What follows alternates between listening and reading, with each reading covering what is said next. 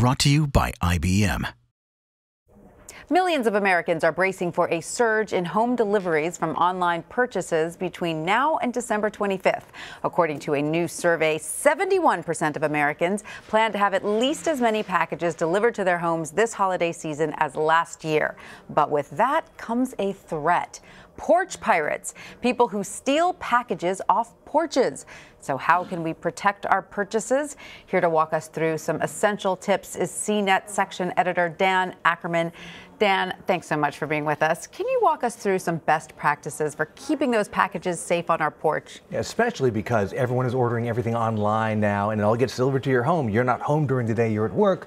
You know, what do you do? UPS and FedEx uh, and other delivery services, they at least offer you the option to hold a package at their depots and you can go drive and get it later. Uh, that, that's kind of an extra step, a hassle. Or you can redirect the packages, send them to a friend's house, send them to your office.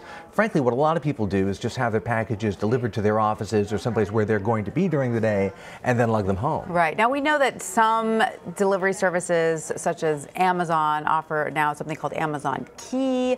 How does that work, and is that something that you would advise? Yeah, Amazon really wants you to buy stuff from them and feel safe about it, and, and they, they want to, you know, take the whole process from beginning to end. So they have a bunch of options. One of them is this new thing called Amazon Key, where you literally buy a smart lock from Amazon and a smart camera from Amazon, and they come and install it. Uh, and basically, a delivery person can use an app to get access to your house uh, for a minute, basically just to put the packages inside and leave. And that's when the camera turns on and watches the person, and you get an alert about it. It's very early on in that process. A lot of people say they're not comfortable with it, mm. and that's why they offer something that's that's probably a little more a little more standard, which is Amazon lockers. A lot of stores have these now. Uh, even Whole Food stores has them now have them now because Amazon owns Whole Foods. So they'll just deliver the package to the locker, and then you go and pick it up from there. Oh, that sounds good. Now, but if you're not comfortable with any of this, sort of Amazon Key or UPS Dropbox, what do you recommend? Are there some other apps that you recommend that might help? There have been a couple of startups over the years that offered to basically take your packages get them, you know, have them delivered to the startup, and then they'll bring it to you.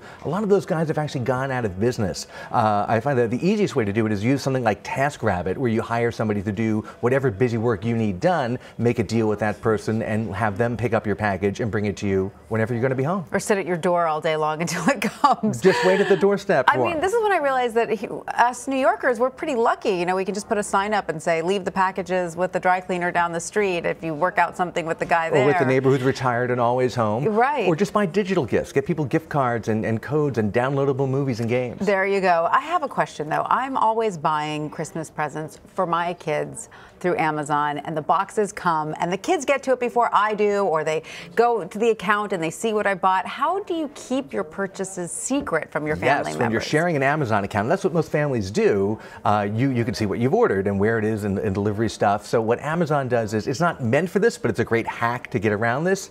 Uh, they have Amazon Household where you can share your Prime benefits with someone else in your household. So you make a second account, use a different email address, uh, use that shared Prime thing so you get the free shipping and everything else, and then you can order basically on a separate Amazon account that nobody else knows about. It's your secret orders. That's so good. Now they just have to write on the box, do not open unless it's mom, right? That, that, has been a problem since long before we had online shopping. Absolutely. Dan Ackerman, thank you so much for that. Thank you.